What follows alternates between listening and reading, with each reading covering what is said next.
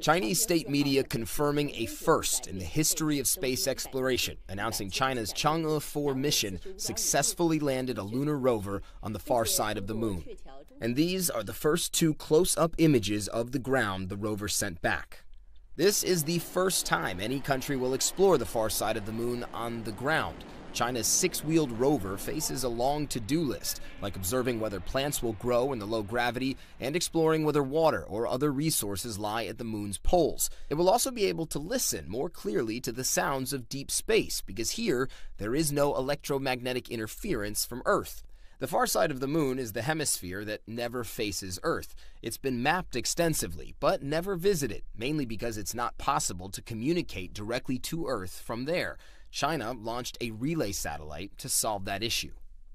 It's a big step forward for China because historically its space program really lagged behind the US and Russia, but now it's a huge point of national pride. So displays like this one here at the National Museum help inspire a sense of wonder and optimism amongst ordinary Chinese people that when it comes to space, anything is now possible, kind of like the US was back in the 60s and 70s.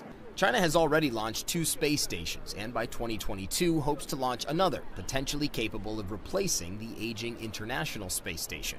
A probe to Mars is set for launch in 2020, and in 2015, CNN got exclusive access to training facilities used by Chinese astronauts, where we saw firsthand how China is planning to send more people into space.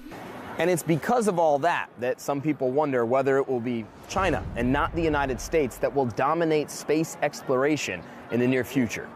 The U.S. Congress bars NASA from working with China due to national security concerns. And with the Trump administration's plan to create a military space force, the stage is set for competition in both the civilian and military arenas. Trump has also directed NASA to return astronauts to the moon, and they might not be alone. Between China's Chang'e missions and its manned flight programs, many experts predict Beijing is gearing up to send its own astronauts to plant a Chinese flag on the moon as soon as possible. Matt Rivers, CNN, Beijing.